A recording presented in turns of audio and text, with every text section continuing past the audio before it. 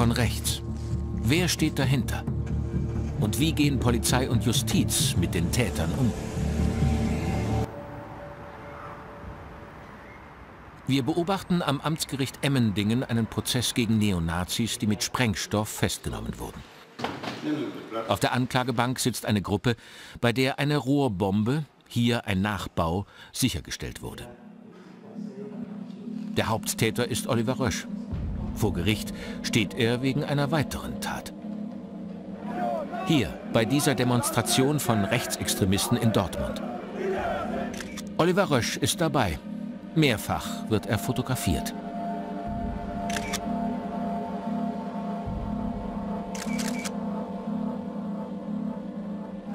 Die Polizei will für Sicherheit sorgen. Aber dann... Oliver Rösch hat einen Sprengsatz geworfen. Die Polizei nimmt ihn fest. Sechs Menschen sind verletzt, darunter auch ein Polizist. Tage zuvor hatte Rösch seinem Kameraden geschrieben, es wird die Richtigen treffen. Zwei der Gegendemonstranten, die von Oliver Röschs Sprengsatz verletzt wurden, gehen mit uns zurück an den Tatort. Das ist die Szene, wo der Sprengsatz gerade explodiert ist. Ein Polizist hat die Tat gefilmt. Und selbst das hat sie nicht abgeschreckt. Selbst die Tatsache, dass sie äh, mit Kameras begleitet wurden von der Polizei. Das ist dann die Wundversorgung, die durchgeführt wurde von den Sanitätern. Ja, es war eigentlich gut, dass wir dann zusammen ins Krankenhaus gefahren sind. Also das, dann konnte man so gemeinsam noch ein bisschen ähm, runterkommen und ähm, das, das hat schon geholfen. Das ist dann ein Bild von mir am Tag danach, wo man eben auch noch mal sieht, wie eben das Auge zugeschwollen ist mit den Wunden und auch den Schürfwunden im Gesicht. Herr Rösch, tun Ihnen eigentlich die Verletzten von Dortmund leid? Die Ermittlungsakten.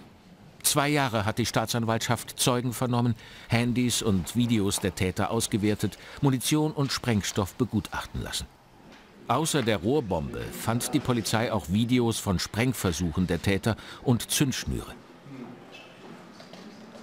Rösch hatte seinem Kameraden, der die Bombe gebaut hatte, in einer Handynachricht angedeutet, was er damit wollte. Den Angeklagten war ja zur Last gelegt worden, hier Umgang gehabt zu haben mit einem Sprengsatz, mit dieser Rohrbombe unter anderem. Und es gab Überlegungen nach ähm, Aktenlage und nach dem Ergebnisbeweisaufnahme, hier dieses, diese Rohrbombe möglicherweise an einem Flugzeug, an einem Modellflugzeug zu befestigen und dann abzuwerfen über einem Antifa-Camp. Das ferngesteuerte Flugzeug der Neonazis hat laut Staatsanwaltschaft tatsächlich die Tragkraft für die Rohrbombe. Rösch baut eine Brandbombe, die er Napalmbombe nennt. Sein Kamerad baut Sprengsätze und die Rohrbombe für das Flugzeug. Als die Polizei kommt, ist das Flugzeug voll flugfähig. Nur eine Abwurfvorrichtung für die Rohrbombe fehlt noch. Der Gutachter hat in, seinem, in seiner Vernehmung ganz klar dargelegt, wie gefährlich diese Rohrbombe tatsächlich war, einsatzbereit, dass von der Rohrbombe aufgrund der eingebrachten äh, Metallkette doch eine ganz erhebliche Splitterwirkung auch ausging. Wie viele Menschen wollten Sie eigentlich verletzen mit der Bombe oder töten?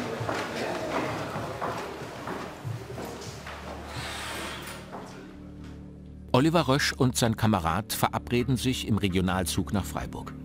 An dieser Station steigt Rösch zu. Im letzten Wagen findet das Treffen statt. Den Ermittlungsakten zufolge fahren die beiden mit einem Karton nach Freiburg. In dem Karton befindet sich die Rohrbombe.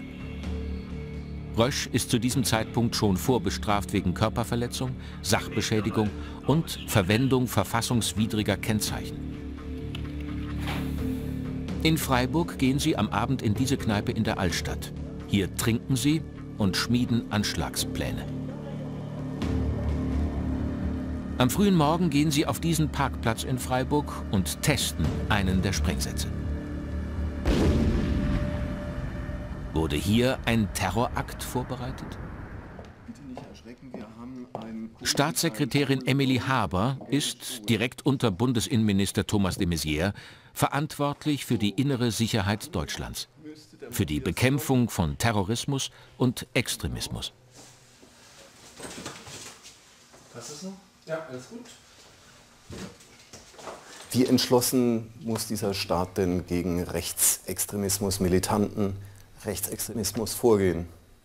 Kann ich nur sagen, äh, mit der ganzen Härte des Rechtsstaates müssen wir bereit sein, äh, gegen diese Phänomene vorzugehen. Sie haben jetzt bewusst das Wort Terror gar nicht ausgesprochen?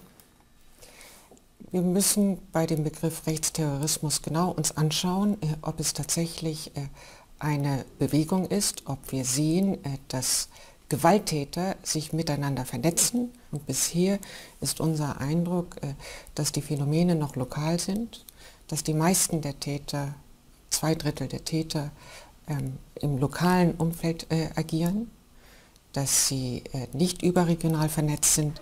Wie stark war die Gruppe um Oliver Rösch vernetzt? Angela Formaniak, die Vertreterin der Nebenklage, hat seine Verbindungen in der Neonazi-Szene genau untersucht. Es gibt ganz klar Zusammenhänge, die waren gut vernetzt in der süddeutschen Nazi-Szene, äh, hatten Kontakte in alle möglichen Richtungen. Rösch und seine Kameraden geben vor Gericht alles zu. Aber sie behaupten, die Anschlagspläne wieder verworfen zu haben, bevor die Polizei die Bombe sicherstellte. Staatsanwalt Florian Rink stellt deshalb die Ermittlungen wegen Vorbereitung eines Sprengstoffverbrechens ein. So wie es die Angeklagten äh, dargestellt haben, sollte es sich hierbei ja nur um eine Suff-Idee handeln. Man konnte auch nicht feststellen, dass es hier wirklich ernst gemeint war. Also auch die Staatsanwaltschaft ging davon aus, dass das eben ein Schwadronieren letztendlich war über Möglichkeiten, einen solchen Sprengsatz einzusetzen, der nicht ernsthaft in die Tat umgesetzt werden sollte. Mhm. Aber die Rohrbombe war einsatzbereit. Die Rohrbombe war hergestellt durch den Angeklagten, war an sich einsatzbereit und auch, wie wir von dem Sachverständigen in der Hauptverhandlung gehört haben, entsprechend gefährlich.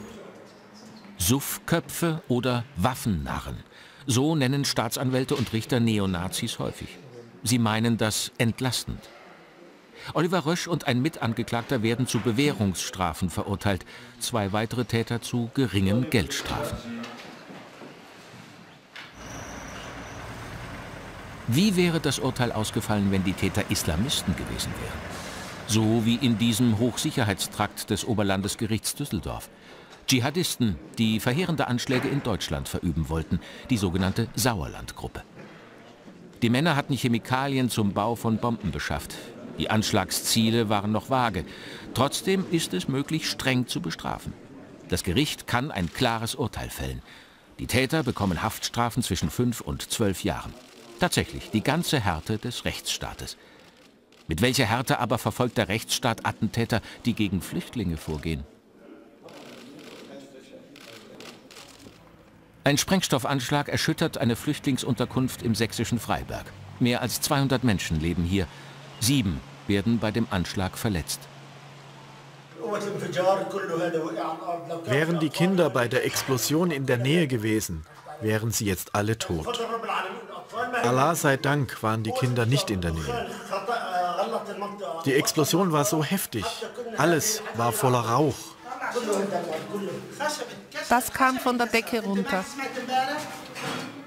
Im Polizeibericht steht am Tag darauf, eine Person sei verletzt worden. Wörtlich heißt es, bisher unbekannte Täter zündeten einen pyrotechnischen Satz am Asylbewerberwohnheim. Am Heim? Wieso nicht im Heim? In der Presse liest sich der Vorfall recht harmlos. Der Spiegel meldet, Asylbewerber durch Böllerwurf verletzt. Die Sächsische Zeitung, Unbekannte werfen Böller auf Asylbewerberheim. Und Bild, Böllerangriff auf Asylbewerberheim. Ein einfacher Böllerwurf also? Davon wird noch zu reden sein. Die Staatsanwaltschaft Chemnitz ermittelt wegen versuchtem Totschlag.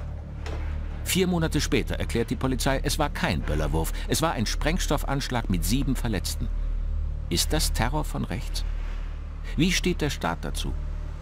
Wir haben jetzt einmal so eine Geschichte gehabt, da wurde ein Sprengstoffanschlag als Böllerwurf bezeichnet. Wie finden Sie sowas, wenn also ein Sprengstoffanschlag als Böllerwurf benannt wird? Ich kenne diesen Fall nicht, aber ein Sprengstoffattentat ist ein Sprengstoffattentat ist ein Sprengstoffattentat. Ist diese Klarheit auch in den Köpfen von Polizei, Staatsanwälten und Richtern? Dieser Frage werden wir nachgehen und manche Überraschungen erleben. Zurück zum Anschlag von Freiberg. Das Landeskriminalamt Sachsen unternimmt Sprengversuche. mit unterschiedlichen Mengen Schwarzpulver, um herauszufinden, wie gefährlich der Sprengsatz im Asylbewerberheim war.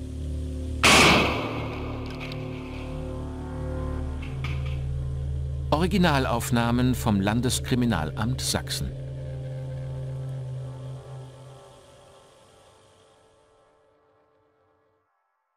Ich, ich rede jetzt gleich mal mit meinen Leuten, ne? Dieser Mann will die Täter unbedingt zu fassen bekommen. Polizeipräsident Bernd Meerbitz. Er leitet das operative Abwehrzentrum, das politisch motivierte Verbrechen in Sachsen aufklärt. Seine Spezialisten haben den Anschlag in Freiberg untersucht.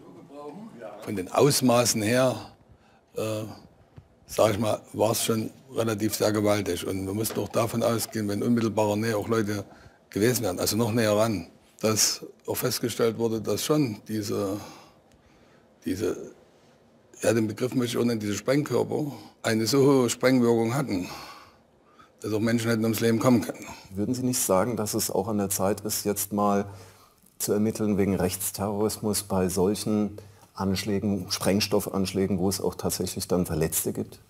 Ich weiß nicht, ob das nicht, also ich verstehe äh, ähm, äh, die Frage sehr gut. Aber finden Sie nicht, dass das sozusagen etwas Wortklauberei ist? Eine nicht ganz unbedeutende Frage. Wir werden darauf noch zurückkommen. Von einem der Täter fertigt die Polizei ein Phantombild nach Zeugenaussagen an. Doch dieses Phantombild darf, nach Anweisung der Staatsanwaltschaft Chemnitz, nur polizeiintern verwendet werden. Veröffentlicht wird es nie. Sieben Monate nach der Tat gibt es noch immer keine heiße Spur. Bernd Meerbitz ist dennoch zuversichtlich. Die Spuren, die wir gesichert haben, stellen wir auf Beziehungen oder Vergleiche her, dass ich schon davon überzeugt bin, dass uns auch das gelingen wird, Täter zu ermitteln. Ich kann jetzt nicht sagen, wann. Aber es verbietet sich einfach, darüber nachzudenken, äh, zu sagen, wir ermitteln einfach nicht weiter. Nein, nein, das passiert nicht. Das darf auch gar nicht sein. 17 Tage nach diesem Interview stellt die Staatsanwaltschaft Chemnitz das Ermittlungsverfahren ein. Die Begründung? Eine Aufklärung sei nicht mehr zu erwarten. Der Sprengstoffanschlag von Freiberg bleibt also ungesühnt. Sieht so die Entschlossenheit des Rechtsstaates aus? Rückblick.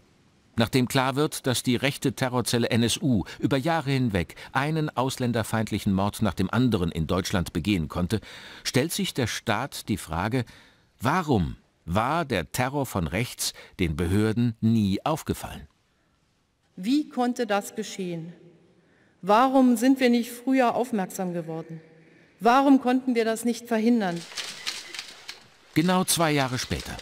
Die Bundesregierung hat die Antworten. Bundesinnenminister Thomas de Maizière und Justizminister Heiko Maas vor der Bundespressekonferenz. Ihre Erkenntnisse? Erstens, Polizei und Justiz haben versagt. Ein zweiter Punkt, der sicherlich von großer Bedeutung ist, ist, äh, dass äh, es anscheinend keine ausreichende Sensibilität gegenüber den rassistischen, fremdenfeindlichen oder sonstigen menschenverachtenden Motive gegeben hat im Zusammenhang mit den Morden der NSU. Was haben Staatsanwälte und Richter aus dem Fall NSU gelernt? Wie sensibel ist man bei der Justiz heute gegenüber den Hassmotiven der Rechten? Wir werden sehen. Wen hatten die Täter in Freiberg im Visier? Unter anderem diese Kinder, die zum Zeitpunkt des Anschlags im Heim wohnten. Einige von ihnen kommen aus Syrien. Iris Meyer aus Freiberg und weitere ehrenamtliche Helferinnen betreuen die Kleinen. Hamza und die Naya sind mit Mama und Oma hier. Die kommen aus Syrien. Genau. Jetzt kommt der Hamza. Hallo lieber Hamza,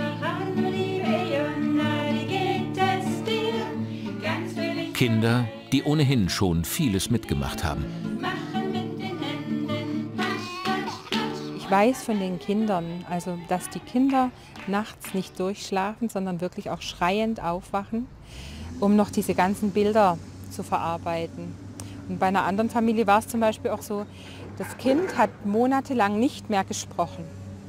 Und nach diesem Anschlag? Also nee, nicht nach dem Anschlag, sondern nachdem sie hier als in Deutschland angekommen sind, hat es monatelang nicht gesprochen. Also mit, mit der Flucht sozusagen hat es die Sprache verloren. Sie treibt Risse mitten durch unsere Die Politiker fragen sich, wie können Flüchtlingskinder zu Anschlagszielen werden?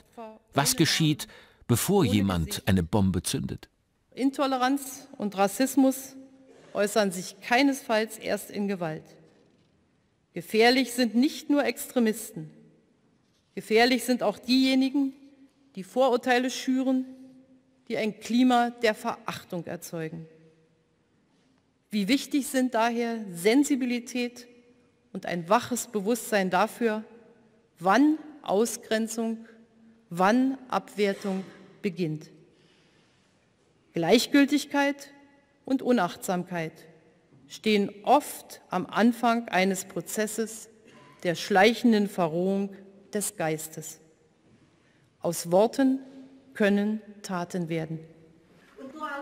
In welchem Klima konnte der Anschlag von Freiberg verübt werden und folgenlos bleiben?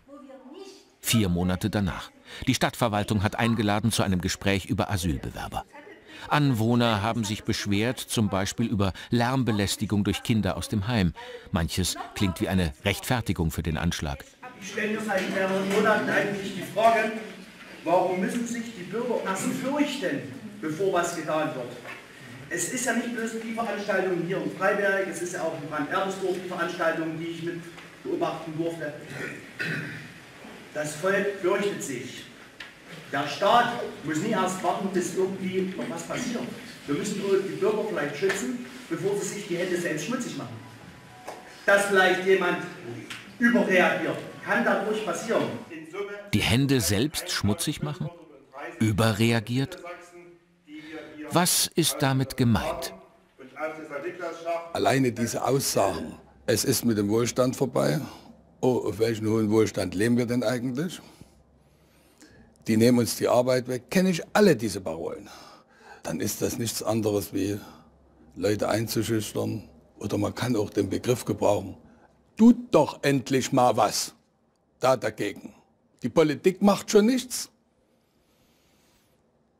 Aber das kann es nicht sein.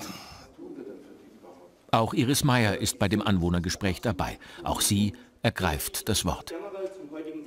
Mein Anliegen ist jetzt ganz speziell wirklich auch Kindern und Familien, die hier in Deutschland ankommen möchten, ein bisschen einen Weg ins Leben zu finden. Und ich kann es schwer aushalten, dass eine große Anti-Stimmung ist. Ich möchte auch gerne einfach appellieren daran, das sind Menschen, die haben was Schlimmes teilweise erlebt. Und ich möchte, dass wir Würde behalten dürfen. Doch mit dieser Haltung bleibt Iris Meyer heute allein. Die Stimmung ist gegen Flüchtlinge und sogar gegen die Polizei. Das, was momentan läuft, ob hier im Freistaat Sachsen, ob in anderen Bundesländern, äh, das hat schon eine Art Pogromstimmung. Wissen Sie, das beschäftigt einen schon. Wenn jemand auffordert, ich fordere alle auf, den Merbitz aufzuhängen. Das ist passiert. Ja, und ich kann damit umgehen. Ich muss auch mit meiner Familie darüber reden. Es sind auch andere. Es ist nicht nur der Polizeipräsident, es sind Oberbürgermeister. Ich sage das ganz ehrlich, das habe ich mir nicht träumen lassen. Aber Träumereien, den darf man sich nicht hingeben, das ist Realität. In Freital, ganz in der Nähe von Freiberg, flog das Auto des Vorsitzenden der linken Stadtratsfraktion in die Luft die Gefährlichkeit dieser Anschläge hat nicht nur in Sachsen, auch bundesweit zugenommen. Und das stellt uns auch für, für völlig neue Herausforderungen. Völlig neu.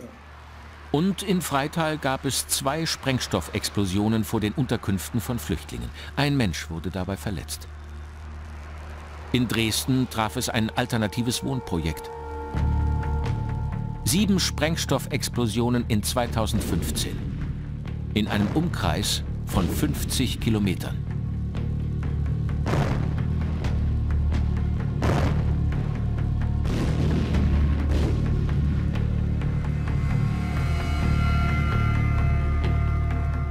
Brand-Erbisdorf und Freiberg sind ja nur sechs Kilometer voneinander entfernt. Beides mal selbstgebaute Sprengsätze. Suchen Sie da konkret nach Zusammenhängen zwischen solchen Fällen? Natürlich. Alle derartigen Sprengstoffanschläge, das ist auch nicht nur, dass wir das hier in Sachsen, Freiberg, äh, Brand-Erbesdorf, gleiche Begehungsweise. Sind wir uns darüber im Klaren. Vom objektiven Befund her, also den Untersuchungen, die auch geführt wurden, gibt es einen Tatzusammenhang. Auf dem Gelände dieser Flüchtlingsunterkunft explodieren innerhalb von vier Monaten zwei Sprengsätze. Wir fragen das sächsische Innenministerium, wie oft wurden 2015 in Sachsen Anschläge mit Sprengstoff verübt? Die Antwort, einmal in Freiberg und einmal in Freital. Die anderen fünf Explosionen führt die Landesregierung nicht auf. Zu den beiden hier in Brand-Erbisdorf gibt es nicht einmal einen Polizeibericht. Dann hatten wir recherchiert, dass manche Anschläge, auch also Sprengstoffexplosionen, dass es dazu gar keine Polizeiberichte gab.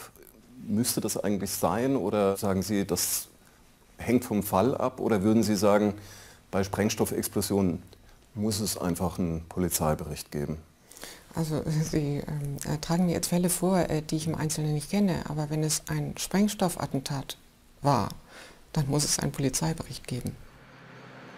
In Brand-Erbisdorf wird nach der zweiten Explosion ein 50-jähriger Mann gefasst. Er hatte einen Asylbewerber mit einem Messer verletzt und dabei geschrien, ich schlachte die Ausländer ab. Das Amtsgericht Chemnitz verurteilte ihn wegen Körperverletzung. Aber die Ermittlungen wegen Herbeiführen einer Sprengstoffexplosion stellte die Staatsanwaltschaft ein, weil keine konkrete Gefährdung vorgelegen habe. Das Ermittlungsverfahren wegen Sprengstoff wird eingestellt, weil man sagt, da liegt keine Gefährdung vor. Es gab keinen Sachschaden, keinen Personenschaden. Das verstehe ich nicht, warum man dann das Ermittlungsverfahren einstellen kann. Das ist juristisch wahrscheinlich richtig, aber verstehen Sie das? Können Sie es mir erklären? Nein, kann ich Ihnen nicht erklären. Emily Habers Minister, Thomas de Maizière, stellt sich den Fragen besorgter Bürger in Sachsen. Der Bundesinnenminister hat sich darauf eingelassen, den Einwohnern Rede und Antwort zu stehen, ungefiltert. Thomas de Maizière weiß, hier wird er angegriffen werden. Wie soll ich denn mein Grundstück noch schützen? Es ist auch so, dass die Bevölkerung meiner Meinung nach besser informiert werden muss.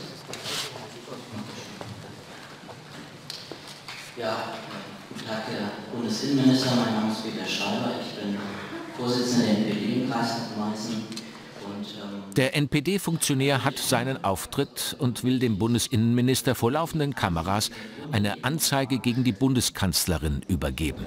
Frau Merkel ist eine Hochverräterin. Frau Merkel sei eine Hochverräterin. Also, ähm, sollte sich lieber von ihr distanzieren? Bitte Ruhe.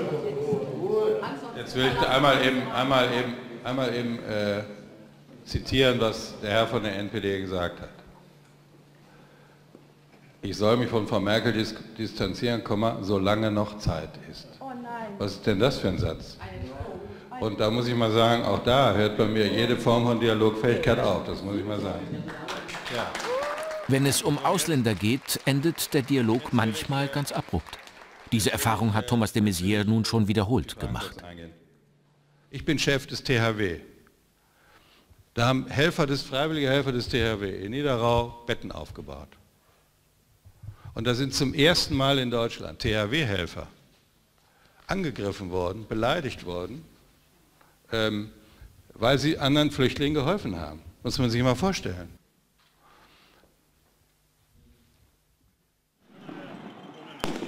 Neonazis werfen Sprengsätze auf Polizisten, die ein Flüchtlingsheim schützen wollen. Diese Bilder stellen die Rechtsradikalen selbst ins Internet.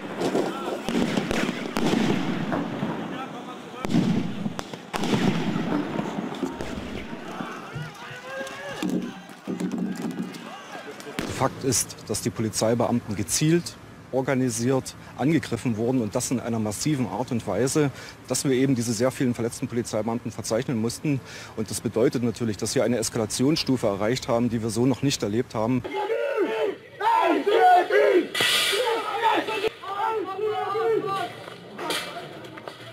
Die Sprengsätze, die gegen die Polizisten eingesetzt werden, nennen Staatsanwälte oft verharmlosend Böller oder Knallkörper. Gegen mehrere Beschuldigte wird ermittelt doch nur gegen einen wegen Verstößen gegen das Sprengstoffgesetz. Die haben eine wahnsinnige Sprengwirkung, wenn die in unmittelbarer Nähe detonieren. ist die Polizei auch ausgesetzt. Wir haben auch reagiert in Sachsen. Wir statten unsere Polizeibeamten noch mit mehr Körperschutzausstattungen aus, die in solchen Umfeld auch mit sein. Sind Beamte verletzt worden durch solche Sprengsätze? Ja, wir haben bei Demonstrationen von unterschiedlichsten Lagern her äh, schon auch diese Würfe. Es gibt auch äh, Beamte, die verletzt wurden. Woher haben die Gewalttäter diese Sprengsätze? Die Recherchen führen uns nach Polen. Hier sind die Gesetze anders. Neben T-Shirts und Flaggen gibt es auch Schusswaffen und Munition. Dann bekommt unser Informant Sprengsätze angeboten, die in Deutschland wegen ihrer Sprengkraft verboten sind. Pyrotechnik einfach so zu kaufen.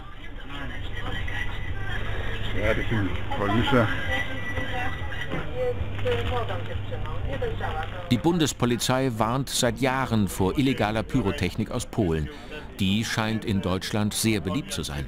Alleine in Thüringen hat die Polizei 20.000 illegale Sprengsätze aus Polen beschlagnahmt. Nur im Dezember 2015. Wir wollen wissen, wie leicht man an sogenannte Polenböller kommt.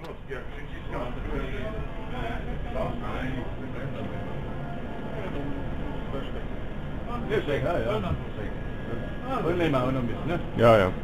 Vielen Dank.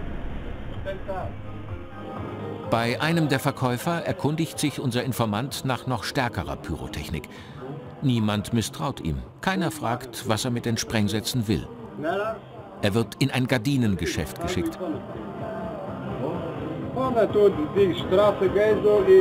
Er hat 100 der Vorhangverkäufer führt ihn ins hinterste Eck des Ladens.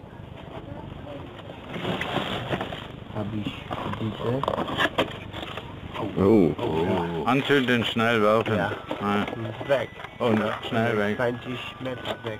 20 Meter? Auto kaputt.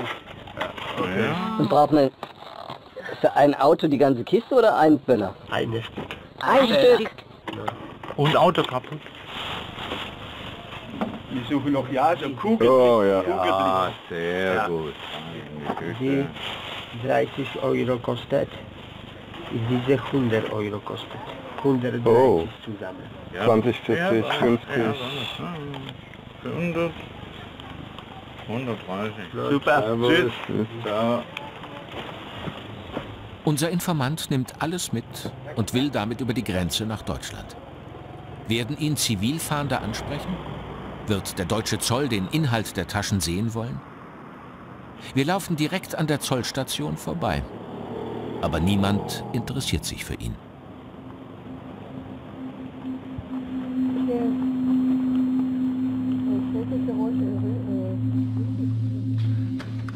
Im Internet finden wir viele Aufnahmen wie diese. Ein sogenannter Polenböller in einem Geschirrspüler.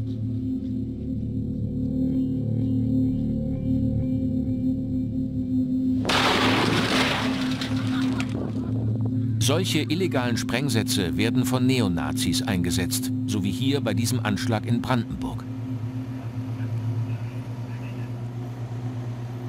In dieser Asylbegegnungsstätte der evangelischen Kirche explodierte ein Sprengsatz. Wenige Stunden zuvor demonstrierte die MPD in Jüterburg gegen Asylbewerber.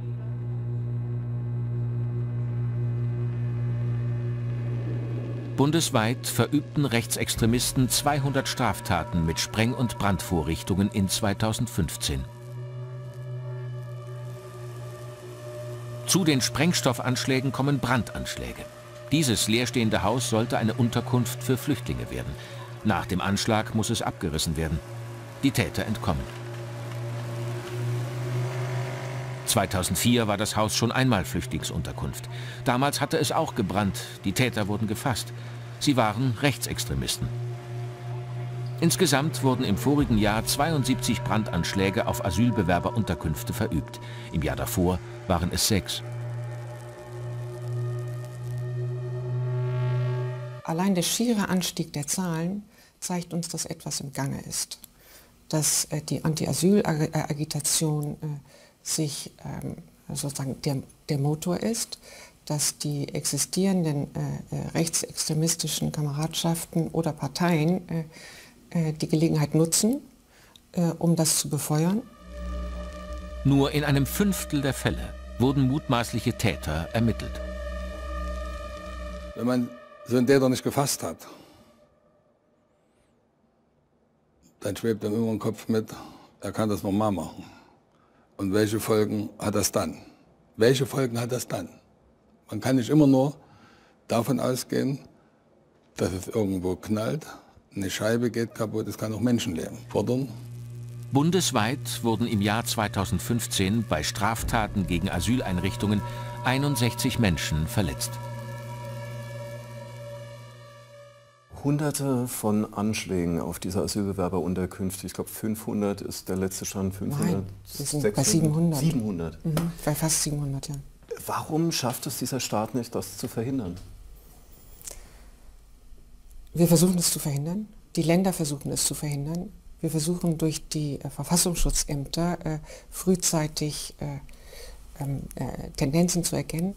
Wir sehen Täter, die vorher noch nicht äh, auffällig gewesen sind. Ein erheblicher Teil äh, der Gewalttäter im Umfeld von Anschlägen auf Asylbewerberunterkünfte ist vorher noch nicht auffällig gewesen. Es sind viele auffällig gewesen, aber viele eben auch nicht. Wir haben einen massiven Anstieg von Straftaten gegen Asylbewerber und gegen Asylbewerbereinrichtungen. Das geht so nicht. Jeder Mensch, der hier kommt, auch wenn er morgen abgeschoben werden sollte, hat Anspruch darauf, dass er nicht mit Hass und Gewalt irgendwie konfrontiert wird. Wo sind wir denn hier? Und jetzt haben wir im Blick auf die Straftaten gegen Asylbewerber und Asylbewerbereinrichtungen mal uns die bisherigen Tatverdächtigen angeguckt. Die gibt es noch nicht alle, aber äh, irgendwann kriegt man sie. Auch den aus Tröglitz hat man jetzt mal jedenfalls einen Verdächtigen. Doch noch an diesem Tag wird der Haftbefehl gegen den Mann aus Tröglitz aufgehoben. Nach weiteren Ermittlungen ließ sich der dringende Tatverdacht gegen ihn nicht aufrechterhalten. Zu den 850 Straftaten gegen Asylunterkünfte in 2015 konnten nur wenige mutmaßliche Täter gefasst werden. Acht wurden angeklagt, vier verurteilt. Das waren zu ein Drittel Menschen, die in straffällige Erscheinung getreten waren und oft aus dem Umfeld der NPD oder anderen Rechtsextremisten. Ein Drittel. Zwei Drittel aber aus der Region und vielleicht anderswo polizeilich in Erscheinung getreten, aber nicht im rechtsextremen Umfeld. Die wenigsten Verdächtigen seien also in Neonazi-Strukturen organisiert. Ist das so? Oder stehen hinter den Brandanschlägen nicht doch Hintermänner, die überregional vernetzt sind? An einem der Tatorte nahe Ludwigshafen suchen wir nach Spuren. Abgebranntes Baumaterial vor Wohncontainern. Hier sollten 18 Flüchtlinge untergebracht werden. Kurz zuvor verübten Unbekannte einen Anschlag mit Brandbeschleuniger. War es ein spontaner Angriff oder gab es Anstifter? Die Polizei sucht nach Zeugen und Tätern. Wie wurde der Anschlag vorbereitet? Was ging ihm voraus? Nicht weit entfernt vom Tatort hatte sich zwei Wochen zuvor eine Gruppe von Rechtsextremisten versammelt. Wir treffen einen, der sie beobachtet hat. Es war eine besonders radikale Gruppe. Sie nennt sich der Dritte Weg. Also hier ist so der, der Platz, an dem die Infostände stattgefunden haben und an dem auch ähm, Demonstrationen, Kundgebungen stattgefunden haben vom Dritten Weg. Ja, also es war natürlich immer das Thema Flüchtlinge, Asyl, das ist das bestimmte Thema und es ging halt hier um die Flüchtlingsunterkunft in Limburger Hof, die hier gebaut, äh, in dem Fall noch im Bau war. Und, ähm, also konkret um die? Um, konkret um die natürlich, ja. Und das sieht man auch anhand der, der Zettel und Flugblätter, die verteilt worden sind. Es gibt einen offenen Brief zum Thema Asylproblematik. Es gibt ähm, hier diese Flugblätter, einmal ähm, Asylmissbrauch in Deutschland stoppen und Asylpolitik der etablierten Politik ist Heuchelei. Das haben die hier verteilt, genau, genau vor dem Anschlag? Ja, genau, das wurde hier auch verteilt, genau. Rüdiger Stein machte eine brisante Entdeckung. Unter den Demonstranten waren auch Neonazis mit Sprengstofferfahrung. Also hier kann man sehen, das ist ähm, die Demonstration am äh, 23.05. in diesem im Jahr 2015 jetzt hier in Limburger Hof und Ludwigshafen. Und ähm, da war unter den ähm, Demo-Teilnehmern des Dritten Wegs auch der Herr Statzberger aus München, der ja schon verurteilt worden ist wegen versuchten terroristischen Anschlag. Und der ist an diesem Tag bei beiden Demonstrationen auch mit dabei gewesen. Man sieht es hier schön mit dem T-Shirt, dem Logo der Partei Der Dritte Weg. Und auf dem Bild hier kann man den Herrn Wiese sehen, der auch wegen Rechtsterrorismus verurteilt worden ist, der auch beim Dritten Weg ist. Wer ist Martin Wiese?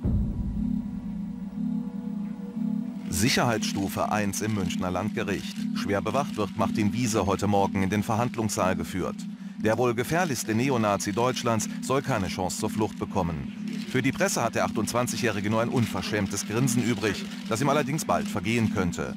Denn die Bundesanwaltschaft will harte Strafen, hält Wiese und drei weitere Komplizen für gemeingefährliche Terroristen. Wir werfen dem Anführer Wiese und seinen Gefolgsleuten vor, einen Sprengstoffanschlag auf die Grundsteinlegung des jüdischen Kulturzentrums hier in München ins Auge gefasst zu haben. Die Beweise dafür scheinen eindeutig. Bei einer Razzia fand die Polizei 1,2 Kilo TNT, eine Handgranate und ein Metallrohr, Zutaten für einen teuflischen Sprengsatz, den Wiese und seine Kumpane offenbar am 9. November 2003 bei der Grundsteinlegung für die neue Synagoge in München zünden wollten. Die Bombe hätte ein Blutbad angerichtet. Im Visier der Nazis waren dabei Ex-Bundespräsident Rau, Bayerns Ministerpräsident Stoiber und der Chef des Zentralrats der Juden, Paul Spiegel. Martin Wieses damalige Terrororganisation wollte eine blutige Revolution in Deutschland und einen NS-Staat errichten. Wiese wurde zu sieben Jahren Haft verurteilt. Karl-Heinz Statzberger zu vier Jahren und drei Monaten wegen Mitgliedschaft in einer terroristischen Vereinigung sowie unerlaubtem Sprengstoff und Waffenbesitz. Manchmal rütteln uns Berichte über skrupellose rechtsextremistische Gewalttäter auf. Für einige Tage bestimmen sie die Schlagzeilen der Nachrichten. Manchmal bleibt auch der Name einer Stadt als Tatort im Gedächtnis. Doch oft genug nehmen wir solche Vorfälle eher nur als Randnotiz wahr. Wir vergessen zu schnell, viel zu schnell. Ohne dass es Journalisten bemerkt hätten, macht Karl-Heinz Statzberger weiter, so als ob nichts gewesen wäre. Heute ist er Redner beim Dritten Weg – was ist das für eine Partei? Hier marschiert der dritte Weg. Sie nennen es Heldengedenken für die Wehrmacht. Mehr als 200 Kameraden sind angereist, manche aus Tschechien oder Ungarn. Der dritte Weg verehrt Hitlers Soldaten. Ein Totenkult um deutsche Krieger.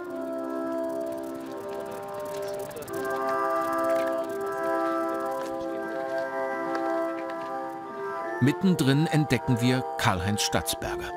Als Terrorist verurteilt schreibt er im Gefängnis für eine rechtsextremistische Zeitschrift. 2008 wird er aus der Haft entlassen. Dann macht er weiter bei der Neonazi-Vereinigung Freies Netz Süd, bis diese im Juli 2014 verboten wird.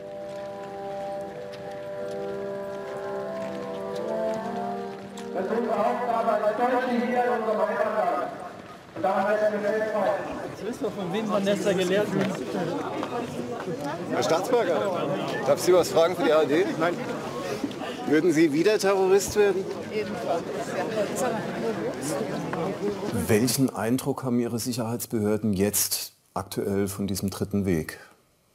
Es ist eine rechtsextremistische, antisemitische, äh, äh, menschenfeindliche äh, Gruppierung.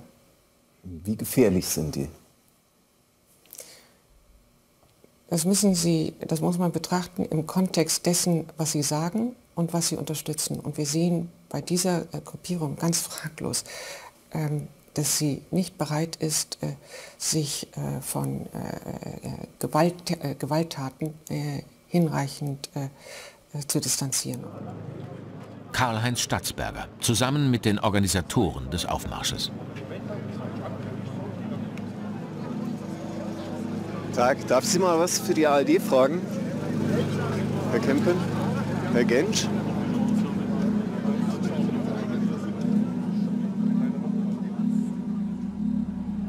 Norman Kempken war führender Aktivist im verbotenen Nazi-Netzwerk Freies Netz Süd.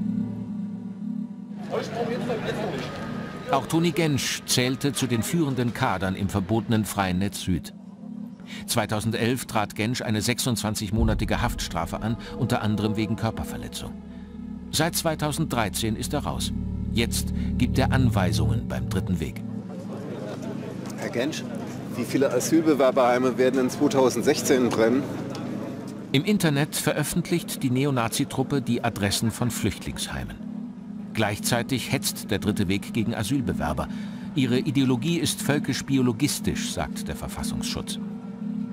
Heute ehren sie die Wehrmacht. Über 250 von ihnen stehen heute in dieser historischen Stadt Wunsiedel vor mir und gedenken die tapferen Soldaten beider Weltkriege sowie allen Helden, die nach 1945 in Kriegsgefangenschaft ermordet wurden. Jeden einzelnen von ihnen gilt unser Dank. Sie haben nicht einfach die Heimat verlassen, als das Vaterland in Not war.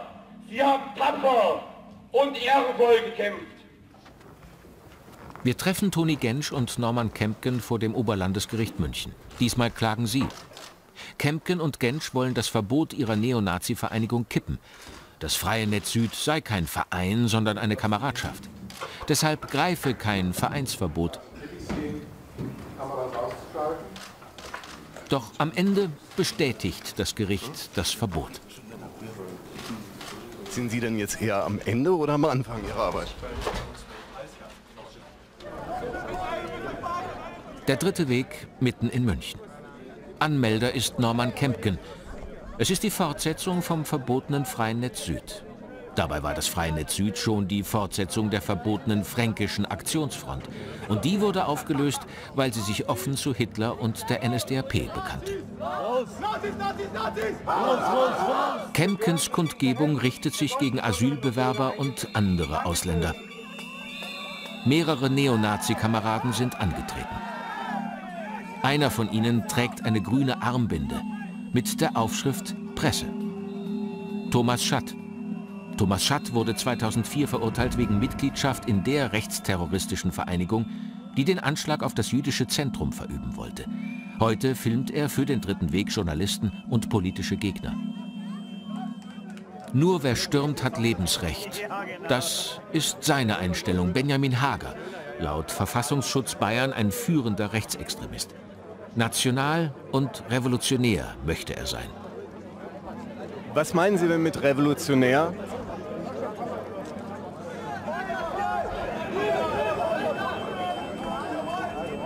Hager gehört zu einem neonazistischen Netzwerk in Südbayern von etwa 30 Personen. 2014 wurde Hager verurteilt wegen Erwerbs von Bombenbaumaterialien. Hager bestellte frei verkäufliche Chemikalien über eBay. Für den Besitz gab es laut Gutachten und Gericht nur eine einzige Erklärung, die Herstellung von Spreng- und Brandvorrichtungen. Das hatte Hager auch gestanden.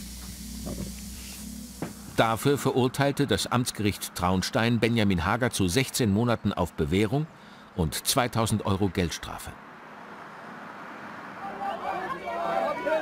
Für seine Bewährung spielt es offenbar keine Rolle, dass Hager beim Dritten Weg weiter marschiert für die nationale Revolution.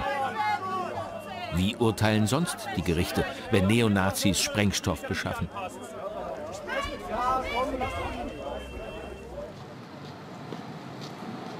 Wenige Wochen nachdem das ganze Ausmaß der NSU-Mordserie klar ist, liegt dem Oberlandesgericht Karlsruhe ein bemerkenswerter Fall vor. Ein Neonazi mit Chemikalien zum Bombenbau soll nicht wegen Vorbereitung eines Sprengstoffverbrechens angeklagt werden.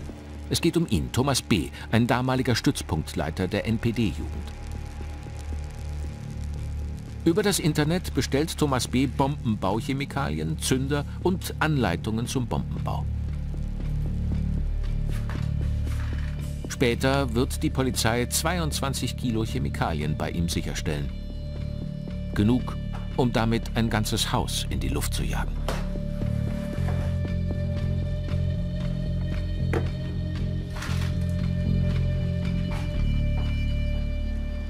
Ein Wohngebiet im baden-württembergischen Weil am Rhein. Hier wohnte der noch 22-jährige Thomas B. zu Hause bei seinen Eltern. Er kundschaftete dieses linke Kulturzentrum in Freiburg aus. Ein mögliches Ziel für einen Bombenanschlag, wie die ARD berichtete. Doch erwischt wird der Neonazi nicht etwa von den Behörden, sondern von der linksgerichteten Gruppierung Antifa. Wir haben gemerkt, der hat uns ins Visier genommen, der wollte uns angreifen. Also haben wir gesagt, jetzt müssen wir uns schützen. Auf den Staat können wir uns nicht verlassen. Die Ermittlungsbehörden wussten von nichts. Die Antifa-Mitglieder hacken nach eigenen Aussagen Mails von Thomas B., in denen er sich mit Kameraden offen über potenzielle Angriffsziele austauscht. Zitat Ich hätte gerne, wenn möglich, die Namen und Adressen von wichtigen politischen Gegnern. Wir haben uns jetzt langsam strukturiert und gehen zum Gegenschlag über. Schließlich erreichen diese Erkenntnisse auch die Staatsanwaltschaft. Doch vor Gericht der nächste Schock. Das Bombenverfahren wird erst gar nicht aufgenommen. Also nochmal. Das Landgericht Freiburg lässt die Anklage wegen Vorbereitung eines Sprengstoffverbrechens nicht zu. Dagegen legt die Staatsanwaltschaft Beschwerde ein. Doch das Oberlandesgericht Karlsruhe bestätigt die Entscheidung. Keine Anklage. Die Staatsanwaltschaft landet schließlich beim Amtsgericht Lörrach. Hier wird gegen Thomas B. gerade noch wegen unerlaubtem Waffenbesitz verhandelt. Dabei ist sich Amtsrichter Krohn sicher, worum es eigentlich ging. Für mich war eigentlich auch ziemlich klar, nach Aktenlage, die ich erkannte, äh, wozu dieser Sprengstoff eigentlich verwendet werden sollte.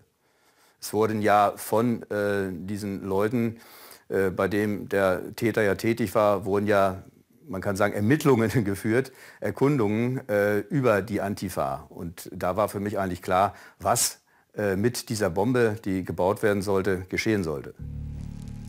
Die sichergestellten Chemikalien zum Bau einer großen Bombe. Was Thomas B. und sein Netzwerk damit wollten, war der Staatsanwaltschaft klar, seinem Richter auch. Und trotzdem, Thomas B. wird nicht angeklagt wegen Sprengstoff, sondern nur wegen unerlaubtem Waffenbesitz. Sein Sturmgewehr war zwar defekt, aber illegal. Seine Pistole dagegen durfte er besitzen, ganz legal, denn Thomas B. war im Schützenverein. 400 Rechtsextremisten verfügen derzeit über eine waffenrechtliche Erlaubnis. Es werden viele Waffen sichergestellt in der Neonazi-Szene. Es gibt aber auch legale Waffen, die diese Rechtsextremisten ganz legal besitzen dürfen.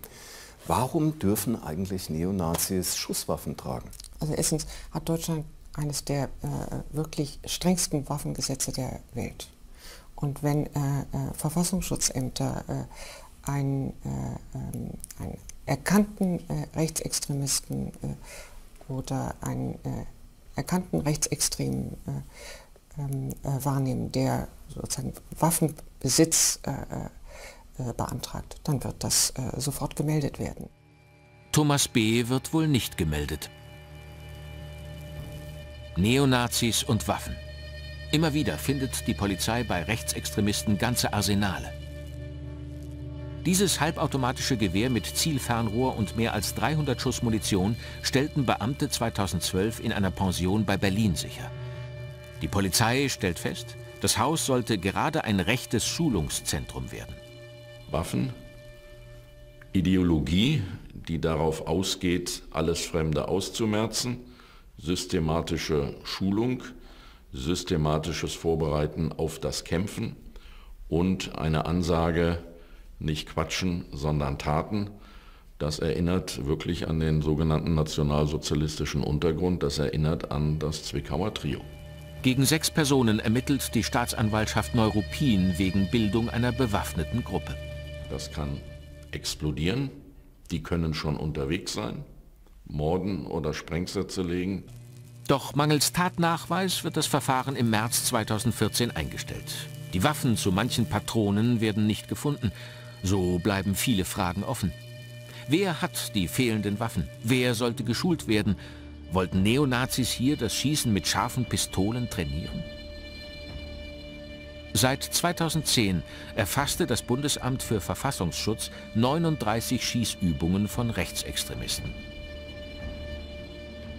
beschlagnahmte Kriegswaffen und Sprengstoffe aus der rechten Szene. Die Neonazis rüsten auf. Die einen bauen Bomben, die anderen zünden Heime an. Und bei Aufmärschen ziehen verurteilte Rechtsterroristen die Strippen. Polizei und Justiz scheinen diese Zusammenhänge nicht zu interessieren.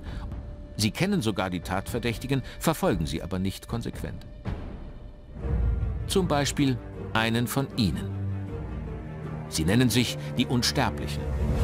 Der Täter, nach dem die Polizei fahndet, gehörte zu ihnen. So wie hier marschierten die Unsterblichen mit weißen Totenmasken illegal durch mehr als 20 Städte, kreuz und quer in Deutschland.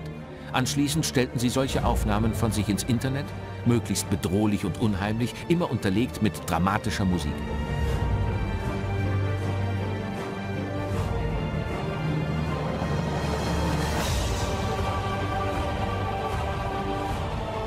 Zu 17 der Maskenträger kam die Polizei. Die Art und Weise, wie hier uniformiert auf die Straße gegangen wird, maskiert, mit Fackeln marschiert wird, äh, fast im Gleichschritt und dabei nationalsozialistische Parolen gebrüllt werden, erinnern an Aufzüge aus dem Dritten Reich. Und das ist auch das Ziel dieser Gruppierung. Bei Razzien in Hamburg, Hannover und Umgebung stellen die Beamten Nazi-Propaganda, Waffen und Sprengstoff sicher. Nach einem der Unsterblichen wird gefahndet, wegen Verstößen gegen das Waffen- und das Sprengstoffgesetz. Polizeilich gesucht wird der Mann nun seit vier Jahren. Bundesweit werden sechs Rechtsextremisten wegen Verstößen gegen das Waffen- oder Sprengstoffgesetz polizeilich gesucht.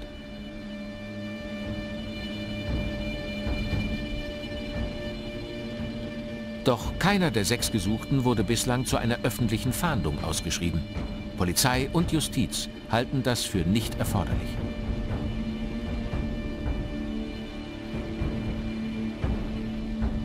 Wie aber geht die Justiz mit Neonazis um, die mit Sprengstoff dingfest gemacht wurden?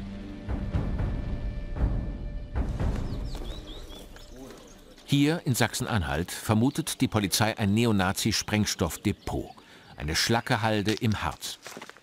Hunde führen die Polizisten zu dem geheimen Lager. Hier, im Unterholz versteckt, entdecken sie den Sprengstoff. Heute gehen wir mit Hendrik Granatrizzi von der Mitteldeutschen Zeitung noch einmal an den Fundort. Er hat damals darüber berichtet. Was ist jetzt hier sichergestellt worden genau? Munitionsreste, offensichtlich auch Waffenreste und anderthalb Kilo TNT, anderthalb Kilo Schwarzpulver und ungefähr die gleiche Menge Nitropenta sind hier sichergestellt worden. Das TNT war aus Weltkriegsmunition ausgebaut worden, aber immer noch hochexplosiv. Genug Sprengstoff, um mehrere Häuser dem Erdboden gleichmachen zu können. Der Sprengstoff gehörte einem von dieser Kameradschaft, Silvio Weiser. Aufgefallen war er bereits vor Jahren durch Sprengstoffdelikte. Schon damals bunkerte er kiloweise TNT und diese Weltkriegswaffen. Bei der Durchsuchung seines Hauses stellte die Polizei aber auch rechtsradikales Propagandamaterial sicher. Hendrik Granatrizzi nimmt uns mit in seine Redaktion, um uns mehr von seiner Recherche zu berichten. Wir hatten mit dem Verfassungsschutz gesprochen und der hatte äh, Weißer schon länger äh, auf, dem, auf dem Kika. Der Verfassungsschutz Sachsen-Anhalt beobachtet Weiser auch während der laufenden Ermittlungen und berichtet über den TNT-Fund. Haben Sie den Verfassungsschutzbericht 2012 gerade da? Ich habe ihn auf dem Schirm. Können wir mal kurz drauf schauen? Ja, äh, lesen Sie einfach kurz vor, was die da geschrieben haben. Tatverdächtiger ist ein bekannter Rechtsextremist aus dem Landkreis Harz, dem Verstöße gegen das Kriegswaffenkontrollgesetz und das Waffengesetz vorgeworfen werden. Gegen den Angeschuldigten wurden zwischenzeitlich Anklage erhoben. Unter welcher Überschrift steht dieser Absatz? Unter dem Punkt Rechtsterrorismus. Rechtsterrorismus. Davon weiß die Polizei offenbar gar nichts. In seiner Vernehmung äh, gab der Beschuldigte an, er sei also Sammler äh, von Munition aus dem Zweiten Weltkrieg.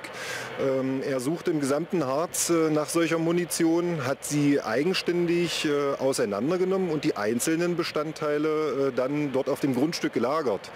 Ähm, er hat uns glaubhaft versichert, ähm, nichts mit diesen Sprengmitteln anfangen zu wollen, hatte also keinen terroristischen Anschlag oder ähnliches geplant.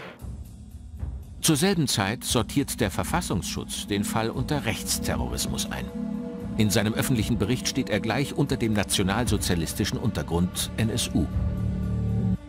Die Staatsanwaltschaft hat zunächst äh, erklärt, also es, sei, es handelt sich um waffennah, sprengstoffnah, also Hinweise auf die rechte Szene wurden, die wir hatten, wurden verneint, gab es nicht.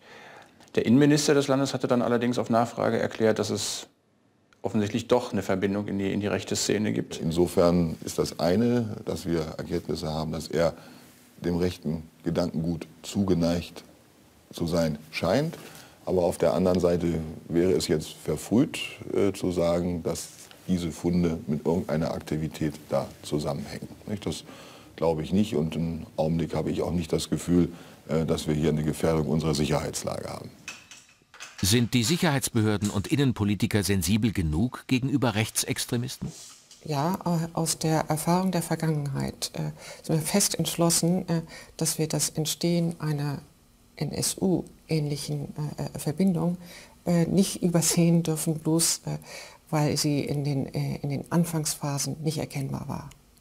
Also wir versuchen das Undenkbare mitzudenken bei der Vorbereitung oder das Denkbare aus der Vergangenheit kann man das ja sagen, ähm, mitzudenken und äh, vorbereitet darauf zu sein, genau dies zu verhindern. Deswegen sind wir so außerordentlich wachsam. Wie wachsam war hier die Staatsanwaltschaft? Wurde das Undenkbare tatsächlich mitgedacht? Wir gehen mit dem Zeitungskollegen zur zuständigen Staatsanwaltschaft Magdeburg. Doch die will uns dazu kein Interview geben. Anfangs wurde er ermittelt wegen des Verstoßes gegen das Kriegswaffengesetz. Ähm, auf, die, auf, den Sprengstoff selber ist man kaum eingegangen. Und auf die Frage, ob der Mann nicht damit womöglich eine Bombe bauen würde? Das war überhaupt kein Thema. Also das gab, spielt überhaupt keine Rolle in, den, in der Frage. In den, obwohl klar war, dass es sich nicht nur um Sprengstoff, also TNT und Schwarzpulver handelte, sondern auch um Nitropenta und Sprengkapseln. Die einzige Erklärung, die es damals gab, dass er das säuberlich getrennt aufbewahrt hat. Auf Facebook präsentiert sich Silvio Weiser mit schwarz-weiß-roter Fahne, einem Symbol der Neonazis. Und er marschiert weiter gegen Einwanderer. Hier bei einer Demonstration der extremistischen Partei Die Rechte im September 2015 in Quedlinburg. Wir haben eine Geschichte, da ist ein polizeibekannter Neonazi, mit 1,5 Kilogramm TNT und 1,5 Kilogramm Schwarzpulver festgenommen worden. Und die Staatsanwaltschaft stellt das Ermittlungsverfahren ein. 1,1. 1,5 Kilogramm TNT und 1,5 Kilogramm Schwarzpulver plus äh, Sprengkapseln und so weiter. Und der ist wirklich bekannt als Neonazi. Der steht in einem Landesverfassungsschutzbericht unter Rechtsterrorismus aufgeführt. Und die Staatsanwaltschaft stellt ein und ich telefoniere mit dem Oberstaatsanwalt und frage, warum wird das eingestellt? Und der Staatsanwalt sagt zu mir, ja, wir können ihm nicht nachweisen, dass er eine Bombe damit bauen wollte. Aha. Das war wahrscheinlich dann so ein Weihnachtsbastelvorhaben. Sie müssten eben praktisch nachweisen, dass der eine Bombe bauen wollte mit diesen 1,5 Kilo TNT. Und ich fragte den Staatsanwalt am Telefon, das ist ohne Kamera gewesen, ja, was soll er denn sonst damit machen? Und dann sagt der Staatsanwalt zu mir, das wissen wir nicht, wir müssen es ihm ja beweisen. Also offensichtlich kann man da nichts machen. Und das sind Fälle, die verstehe ich nicht. Ich auch nicht. Eine andere Geschichte. Ich glaube, wir müssen mhm. aufgrund der Uhrzeit, Sie haben ja gleich okay. Herr Minister. Okay, schade. Aber trotzdem vielen Dank. Gern geschehen. Danke. Polizeibeamten gezielt organisiert angegriffen wurden und das in einer massiven Art und Weise, dass wir eben diese sehr vielen verletzten Polizeibeamten verzeichnen mussten. Und das bedeutet natürlich, dass wir eine Eskalationsstufe erreicht haben, die wir so noch nicht erlebt haben.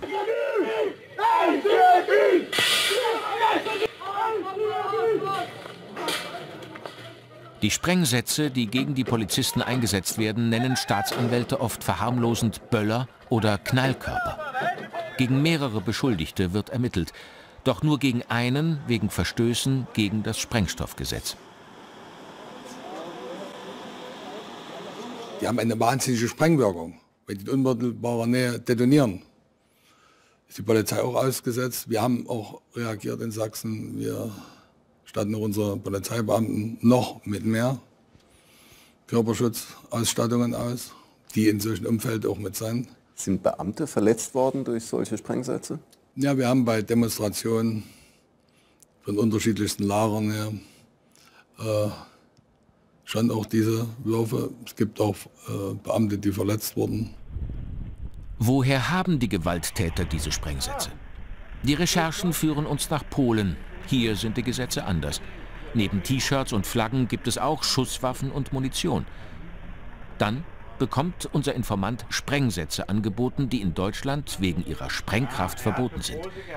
Pyrotechnik einfach so zu kaufen. Ja, das sind Polizei. Die Bundespolizei warnt seit Jahren vor illegaler Pyrotechnik aus Polen. Die scheint in Deutschland sehr beliebt zu sein. Alleine in Thüringen hat die Polizei 20.000 illegale Sprengsätze aus Polen beschlagnahmt. Nur im Dezember 2015. Wir wollen wissen, wie leicht man an sogenannte Polenböller kommt.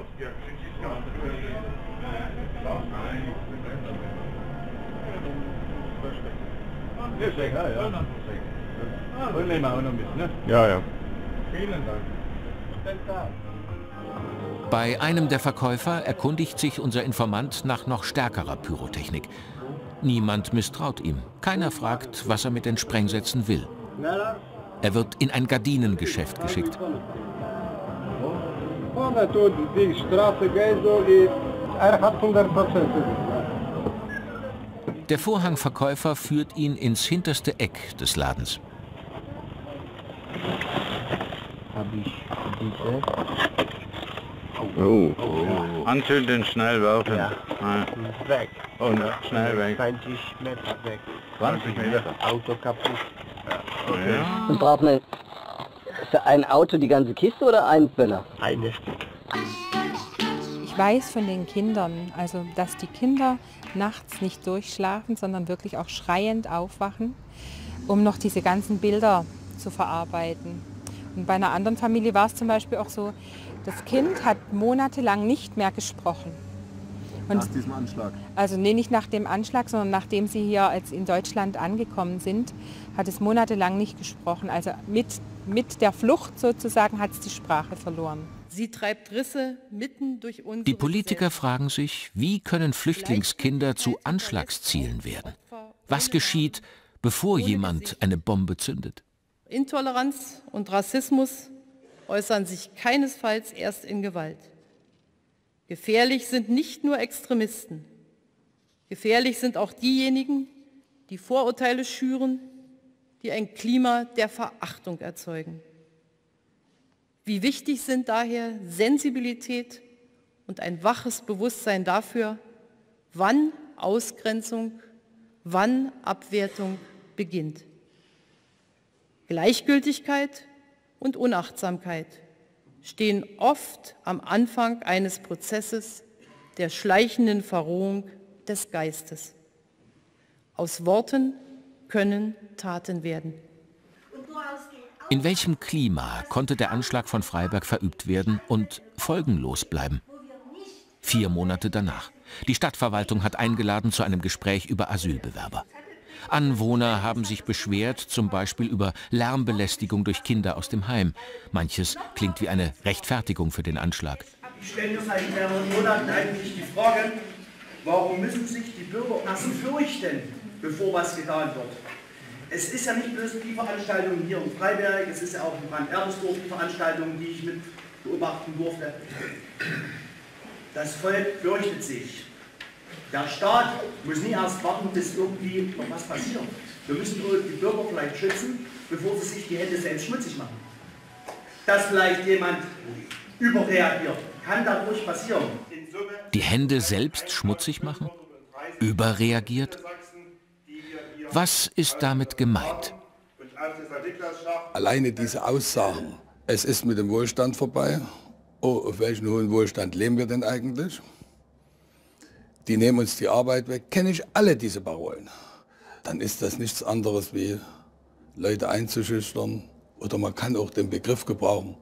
Tut doch endlich mal was da dagegen. Die Politik macht schon nichts. Aber das kann es nicht sein. Auch Iris Meyer ist bei dem Anwohnergespräch dabei. Auch sie ergreift das Wort. Nein. Aussagen, es ist mit dem Wohlstand vorbei oh, auf welchen hohen Wohlstand leben wir denn eigentlich? Die nehmen uns die Arbeit weg, kenne ich alle diese Parolen.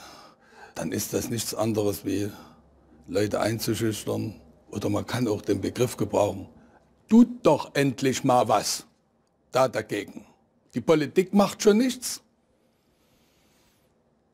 Aber das kann es nicht sein. Auch Iris Meyer ist bei dem Anwohnergespräch dabei. Auch sie ergreift das Wort.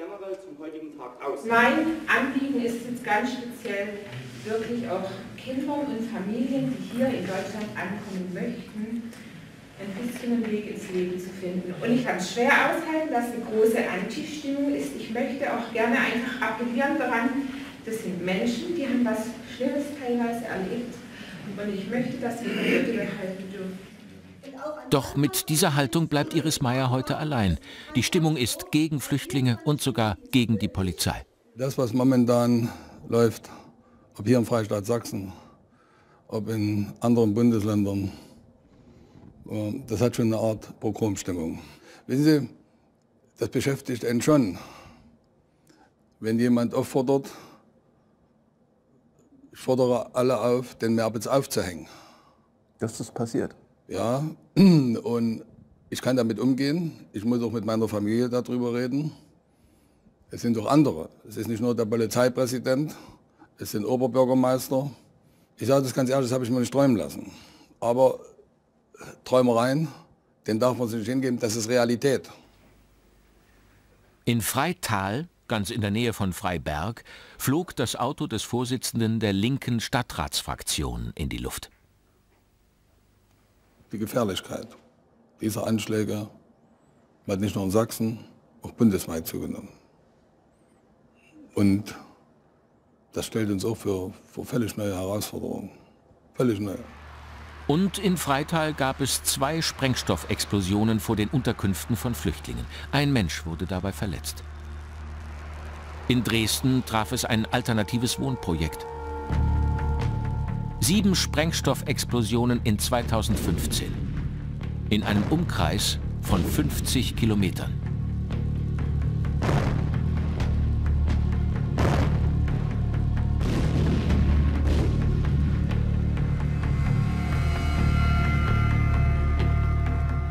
Rand-Erbisdorf und Freiberg sind ja nur sechs Kilometer voneinander entfernt. Beides mal selbstgebaute Sprengsätze. Suchen Sie da konkret nach Zusammenhängen zwischen solchen Fällen? Natürlich.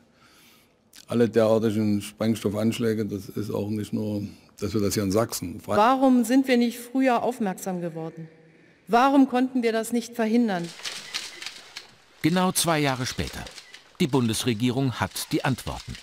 Bundesinnenminister Thomas de Maizière und Justizminister Heiko Maas vor der Bundespressekonferenz. Ihre Erkenntnisse? Erstens, Polizei und Justiz haben versagt. Ein zweiter Punkt, der sicherlich von großer Bedeutung ist, ist, äh, dass äh, es anscheinend keine ausreichende Sensibilität gegenüber den rassistischen, fremdenfeindlichen oder sonstigen menschenverachtenden Motive gegeben hat im Zusammenhang mit den Morden der NSU. Was haben Staatsanwälte und Richter aus dem Fall NSU gelernt? Wie sensibel ist man bei der Justiz heute gegenüber den Hassmotiven der Rechten? Wir werden sehen. Wen hatten die Täter in Freiberg im Visier? Unter anderem diese Kinder, die zum Zeitpunkt des Anschlags im Heim wohnten. Einige von ihnen kommen aus Syrien. Iris Meyer aus Freiberg und weitere ehrenamtliche Helferinnen betreuen die Kleinen. Hamza und die Naya sind mit Mama und Oma hier. Die kommen aus Syrien. Genau. Naya. Jetzt kommt der Hamza. Hallo lieber Hamza, hallo liebe Jonna, wie geht es dir? Ganz Kinder, die ohnehin schon vieles mitgemacht haben. Ich weiß von den Kindern, also dass die Kinder nachts nicht durchschlafen, sondern wirklich auch schreiend aufwachen, um noch diese ganzen Bilder zu verarbeiten. Und bei einer anderen Familie war es zum Beispiel auch so, das Kind hat monatelang nicht mehr gesprochen. Und nach diesem Anschlag? Also nee, nicht nach dem Anschlag, sondern nachdem sie hier als in Deutschland angekommen sind, hat es monatelang nicht gesprochen. Also mit, mit der Flucht sozusagen hat es die Sprache verloren. Sie treibt Risse mitten durch unsere Die Politiker fragen sich, wie können Flüchtlingskinder zu Anschlagszielen werden? Was geschieht, bevor jemand eine Bombe zündet? Intoleranz und Rassismus äußern sich keinesfalls erst in Gewalt. Gefährlich sind nicht nur Extremisten. Gefährlich sind auch diejenigen, die Vorurteile schüren, die ein Klima der Verachtung erzeugen. Wie wichtig sind daher Sensibilität und ein waches Bewusstsein dafür, wann Ausgrenzung wann Abwertung beginnt. Gleichgültigkeit und Unachtsamkeit stehen oft am Anfang eines Prozesses der schleichenden Verrohung des Geistes. Aus Worten können Taten werden. Der Gegendemonstranten, die von Oliver Röschs Sprengsatz verletzt wurden, gehen mit uns zurück an den Tatort. Das ist die Szene, wo der Sprengsatz gerade explodiert ist. Ein Polizist hat die Tat gefilmt. Und selbst das hat sie nicht abgeschreckt. Selbst die Tatsache, dass sie äh, mit Kameras begleitet wurden von der Polizei. Das ist dann die Wundversorgung, die durchgeführt wurde von den Sanitätern. Ja, es war eigentlich gut, dass wir dann zusammen ins Krankenhaus gefahren sind. Also das, dann konnte man so gemeinsam noch ein bisschen ähm, runterkommen und ähm, das, das hat schon geholfen. Das ist dann ein Bild von mir am Tag danach, wo man eben auch noch mal sieht, wie eben das Auge zugeschwollen ist mit den Wunden und auch den Schürfwunden im Gesicht. Herr Rösch, tun Ihnen eigentlich die Verletzten von Dortmund leid? Die Ermittlungsakten. Zwei Jahre hat die Staatsanwaltschaft Zeugen vernommen, Handys und Videos der Täter ausgewertet, Munition und Sprengstoff begutachten lassen. Außer der Rohrbombe fand die Polizei auch Videos von Sprengversuchen der Täter und Zündschnüre. Rösch hatte seinem Kameraden, der die Bombe gebaut hatte, in einer Handynachricht angedeutet, was er damit wollte. Den Angeklagten war ja zur Last gelegt worden, hier Umgang gehabt zu haben mit einem Sprengsatz, mit dieser Rohrbombe unter anderem. Und es gab Überlegungen nach ähm, Aktenlage und nach dem Ergebnis Beweisaufnahme, hier dieses, diese Rohrbombe möglicherweise an einem Flugzeug, an einem Modellflugzeug zu befestigen und dann abzuwerfen über einem Antifa-Camp. Das ferngesteuerte Flugzeug der Neonazis hat laut Staatsanwaltschaft tatsächlich die Tragkraft für die Rohrbombe. Rösch baut eine Brandbombe, die er Napalmbombe nennt. Sein Kamerad baut Sprengsätze und die Rohrbombe für das Flugzeug. Als die Polizei kommt, ist das Flugzeug voll flugfähig. Nur eine Abwurfvorrichtung für die Rohrbombe fehlt noch. Der Gutachter hat in, seinem, in seiner Vernehmung ganz klar dargelegt, wie gefährlich diese Rohrbombe tatsächlich war, einsatzbereit, dass von der Rohrbombe aufgrund der eingebrachten äh, Metallkette doch eine ganz erhebliche Splitterwirkung auch ausging. Wie viele Menschen wollten Sie eigentlich verletzen mit der Bombe oder töten?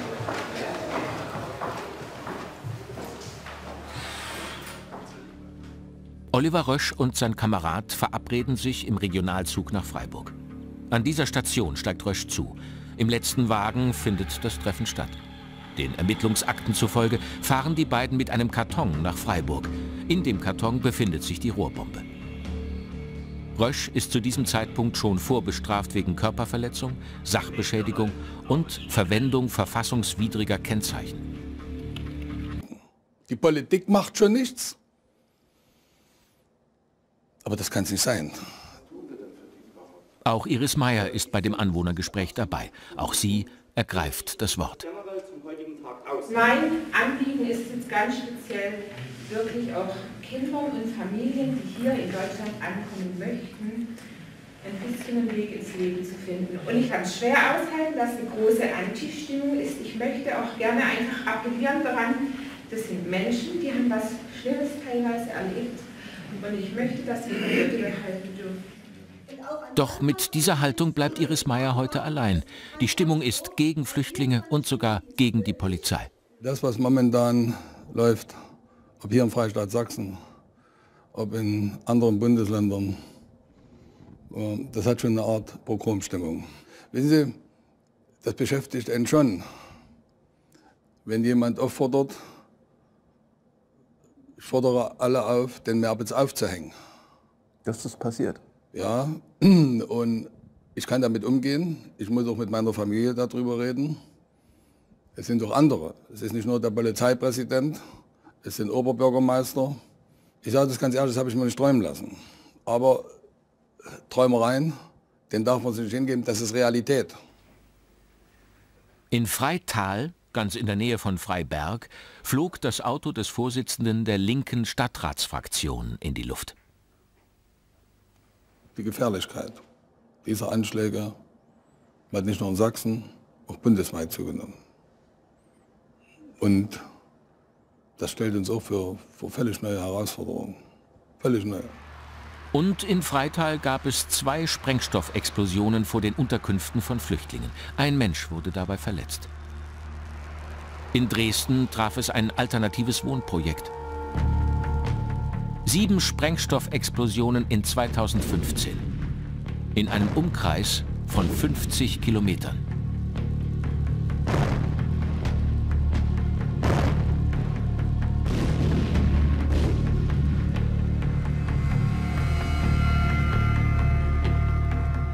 Brand-Erbisdorf und Freiberg sind ja nur sechs Kilometer voneinander entfernt. Beides mal selbstgebaute Sprengsätze. Suchen Sie da konkret nach Zusammenhängen zwischen solchen Fällen? Natürlich.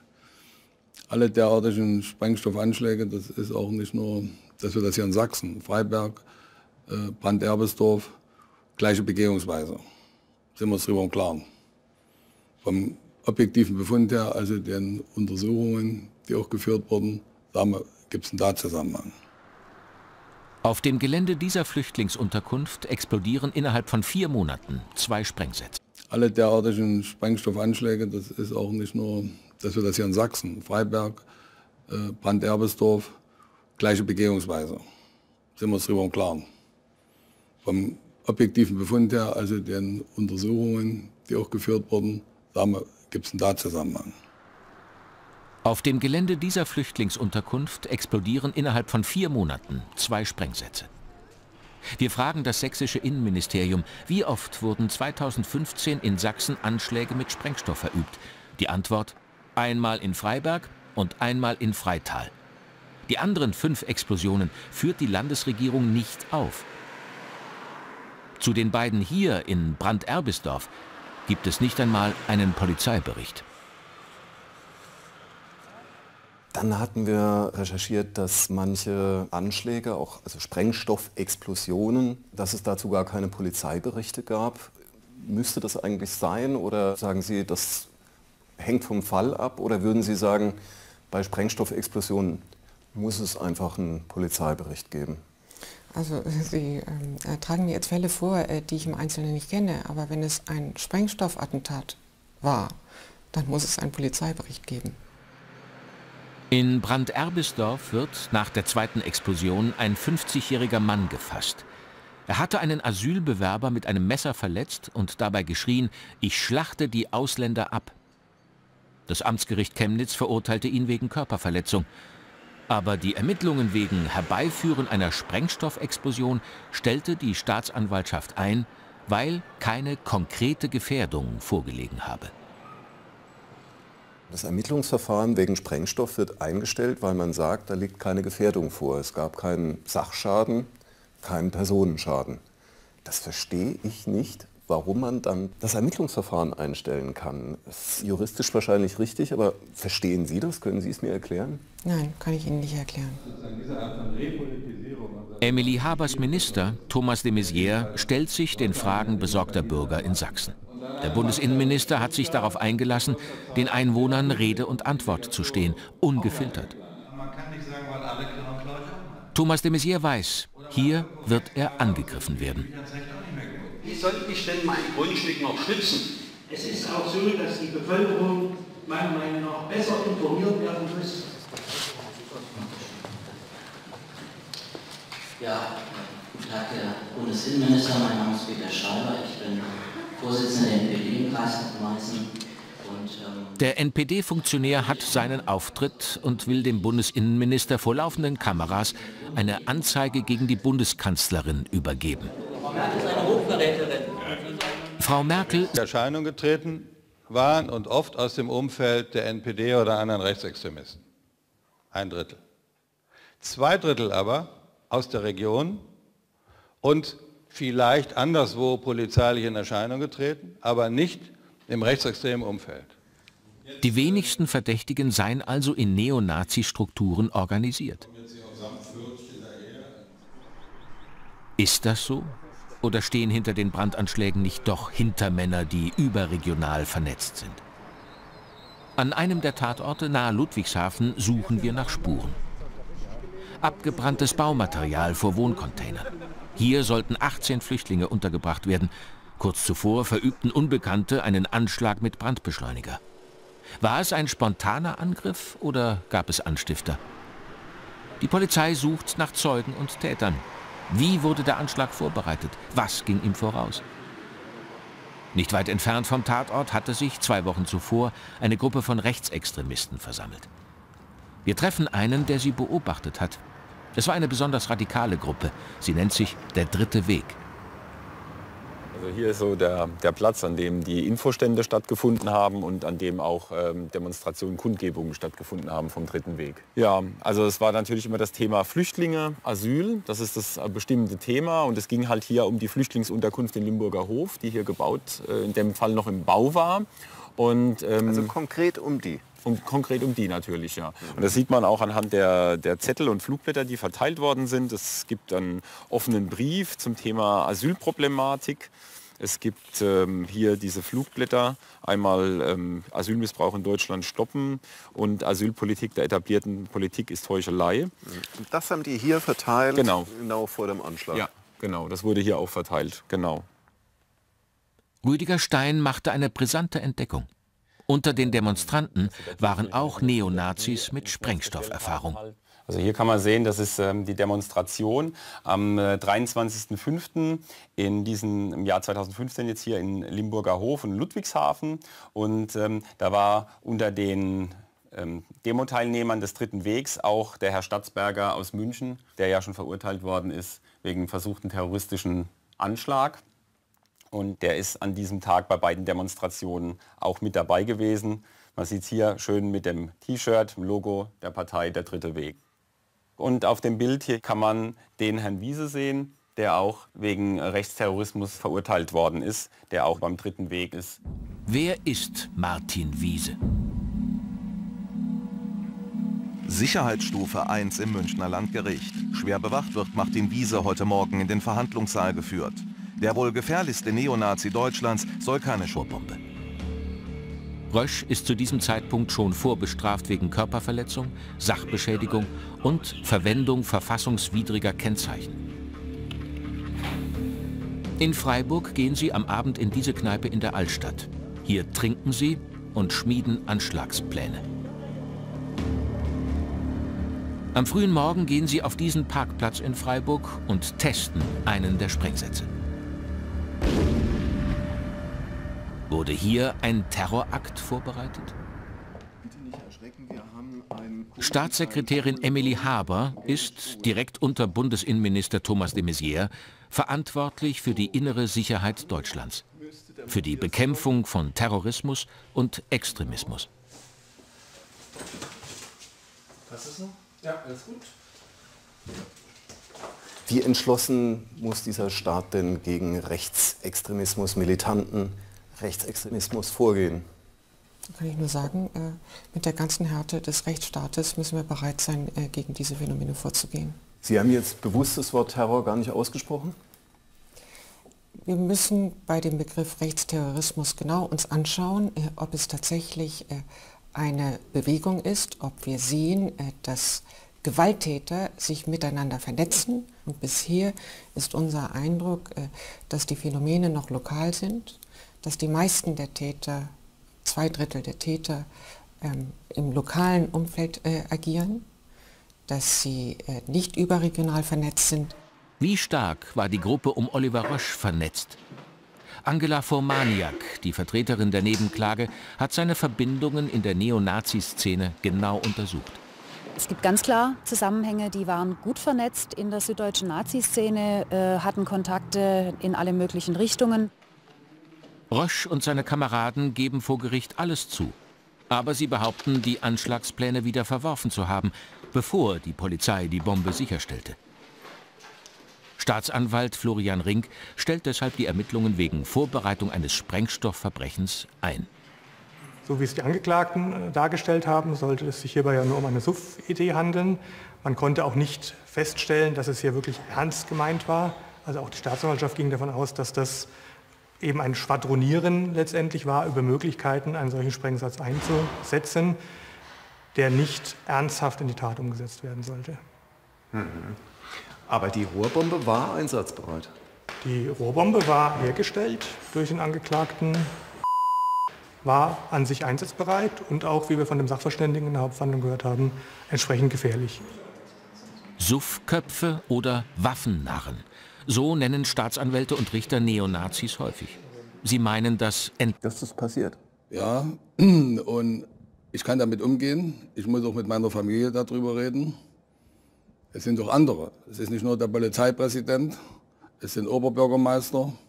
Ich sage das ganz ehrlich, das habe ich mir nicht träumen lassen. Aber Träumereien, den darf man sich nicht hingeben, das ist Realität. In Freital, ganz in der Nähe von Freiberg, flog das Auto des Vorsitzenden der linken Stadtratsfraktion in die Luft. Die Gefährlichkeit dieser Anschläge hat nicht nur in Sachsen, auch bundesweit zugenommen. Und das stellt uns auch für, für völlig neue Herausforderungen. Völlig neue. Und in Freital gab es zwei Sprengstoffexplosionen vor den Unterkünften von Flüchtlingen. Ein Mensch wurde dabei verletzt. In Dresden traf es ein alternatives Wohnprojekt. Sieben Sprengstoffexplosionen in 2015. In einem Umkreis von 50 Kilometern.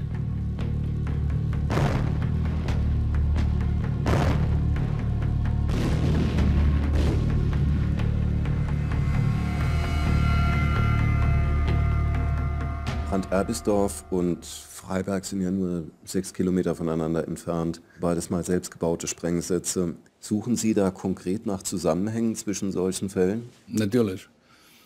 Alle derartigen Sprengstoffanschläge, das ist auch nicht nur, dass wir das hier in Sachsen, Freiberg, äh, Brand-Erbisdorf, gleiche Begehungsweise. Sind wir uns darüber im Klaren. Vom objektiven Befund her, also den Untersuchungen, die auch geführt wurden, gibt es einen Tatzusammenhang. Auf dem Gelände dieser Flüchtlingsunterkunft explodieren innerhalb von vier Monaten zwei Sprengsätze. Wir fragen das sächsische Innenministerium, wie oft wurden 2015 in Sachsen Anschläge mit Sprengstoff verübt?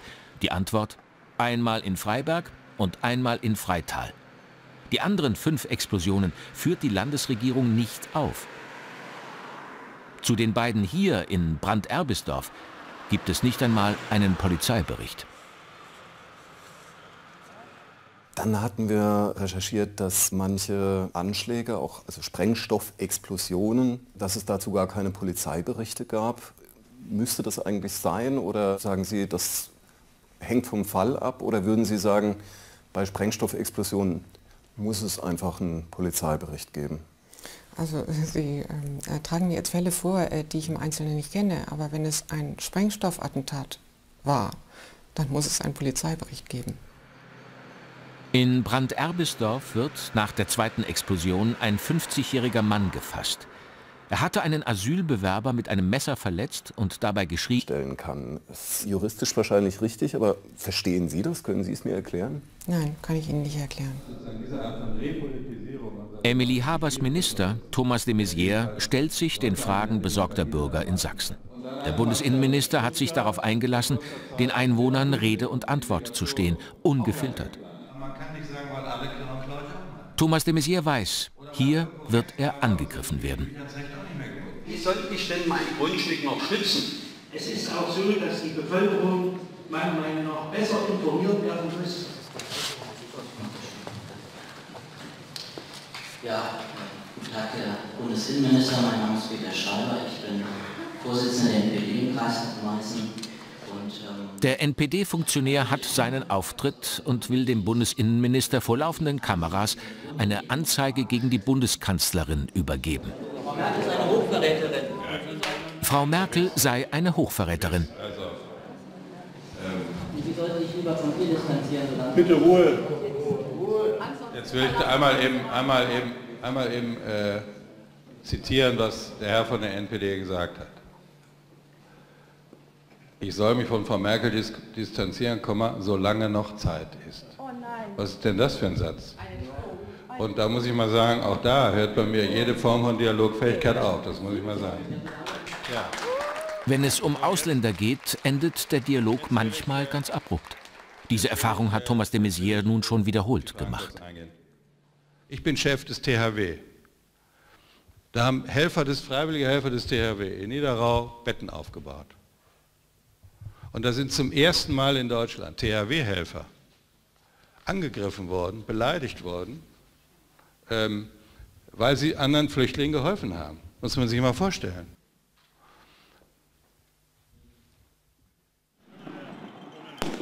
Neonazis werfen Sprengsätze auf Polizisten, die ein Flüchtlingsheim schützen wollen. Diese Bilder stellen die Rechtsradikalen selbst ins Internet.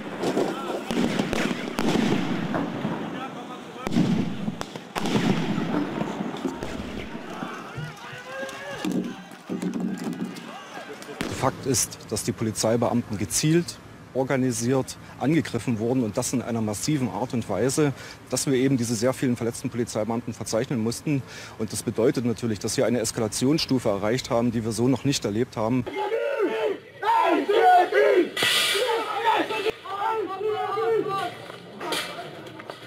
Die Sprengsätze, die gegen die Polizisten eingesetzt werden, nennen Staatsanwälte oft verharmlosend Böller oder Knallkörper. Gegen mehrere Beschuldigte wird ermittelt, doch nur gegen einen wegen Verstößen gegen das Sprengstoffgesetz. Mal bleibt auch der Name einer Stadt als Tatort im Gedächtnis. Doch oft genug nehmen wir solche Vorfälle eher nur als Randnotiz wahr. Wir vergessen zu schnell, viel zu schnell. Ohne dass es Journalisten bemerkt hätten, macht Karl-Heinz Statzberger weiter, so als ob nichts gewesen wäre. Heute ist er Redner beim Dritten Weg. Was ist das für eine Partei?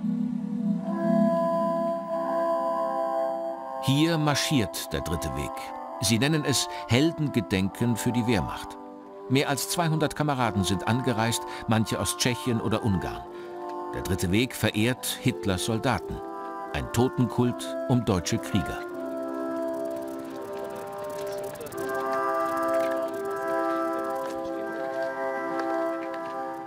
Mittendrin entdecken wir Karl-Heinz Statzberger.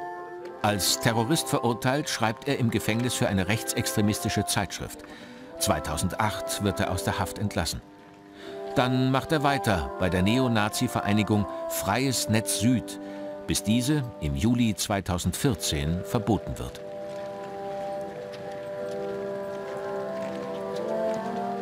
Das ist unsere Aufgabe als Deutsche hier in unserem Heimatland. Und daran heißen wir weltweit. Jetzt wissen wir, von wem Vanessa gelehrt wird. Herr Staatsbürger, darf ich Sie was fragen für die ARD? Nein. Würden Sie wieder Terrorist werden? Welchen Eindruck haben Ihre Sicherheitsbehörden jetzt aktuell von diesem dritten Weg? Es ist eine rechtsextremistische, antisemitische, äh, äh, menschenfeindliche äh, Gruppierung. Wie gefährlich sind die? Das müssen Sie, das muss man betrachten im Kontext dessen, was Sie sagen und was Sie unterstützen. Und wir sehen bei dieser äh, Gruppierung ganz fraglos, ähm, dass sie nicht bereit ist, äh, sich äh, von Gewalt, Gewalttaten hinreichend zu distanzieren. Karl-Heinz Statzberger, zusammen mit den Organisatoren des Aufmarsches. Tag, darf Sie mal was für die ARD fragen? Herr Kempen? Herr Gensch?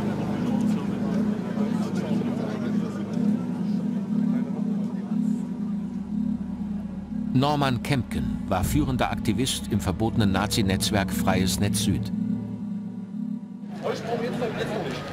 Auch Toni Gensch zählte zu den führenden Kadern im verbotenen Freien Netz Süd.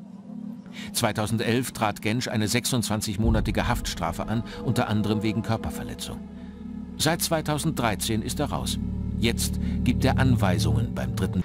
Er hatte einen Asylbewerber mit einem Messer verletzt und dabei geschrien, ich schlachte die Ausländer ab. Das Amtsgericht Chemnitz verurteilte ihn wegen Körperverletzung. Aber die Ermittlungen wegen Herbeiführen einer Sprengstoffexplosion stellte die Staatsanwaltschaft ein, weil keine konkrete Gefährdung vorgelegen habe. Das Ermittlungsverfahren wegen Sprengstoff wird eingestellt, weil man sagt, da liegt keine Gefährdung vor. Es gab keinen Sachschaden, keinen Personenschaden. Das verstehe ich nicht. warum man dann das Ermittlungsverfahren einstellen kann. Das ist juristisch wahrscheinlich richtig, aber verstehen Sie das? Können Sie es mir erklären? Nein, kann ich Ihnen nicht erklären. Emily Habers Minister, Thomas de Maizière, stellt sich den Fragen besorgter Bürger in Sachsen. Der Bundesinnenminister hat sich darauf eingelassen, den Einwohnern Rede und Antwort zu stehen, ungefiltert. Thomas de Maizière weiß, hier wird er angegriffen werden. Wie soll ich denn mein Grundstück noch schützen? Es ist auch so, dass die Bevölkerung meiner Meinung nach besser informiert werden muss. Ja, guten Tag, Herr Bundesinnenminister. Mein Name ist Peter Schreiber. Ich bin Vorsitzender der NPD im Kreis Meißen. Und, ähm Der NPD-Funktionär hat seinen Auftritt und will dem Bundesinnenminister vor laufenden Kameras eine Anzeige gegen die Bundeskanzlerin übergeben. Frau Merkel ist eine Hochverräterin. Frau Merkel sei eine Hochverräterin. Bitte Ruhe. Jetzt will ich einmal eben, einmal eben, einmal eben äh, zitieren, was der Herr von der NPD gesagt hat. Ich soll mich von Frau Merkel dis distanzieren, Komma, solange noch Zeit ist. Was ist denn das für ein Satz? Und da muss ich mal sagen, auch da hört bei mir jede Form von Dialogfähigkeit auf, das muss ich mal sagen. Ja. Wenn es um Ausländer geht, endet der Dialog manchmal ganz abrupt. Diese Erfahrung hat Thomas de Maizière nun schon wiederholt gemacht. Ich bin Chef des THW. Da haben Helfer des, freiwillige Helfer des THW in Niederrau Betten aufgebaut. Und da sind zum ersten Mal in Deutschland THW-Helfer angegriffen worden, beleidigt worden, ähm, weil sie anderen Flüchtlingen geholfen haben. Muss man sich mal vorstellen.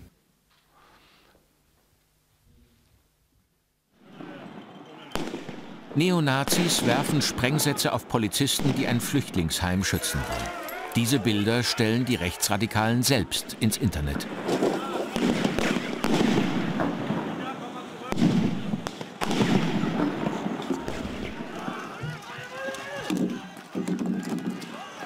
Fakt ist, dass die Polizeibeamten gezielt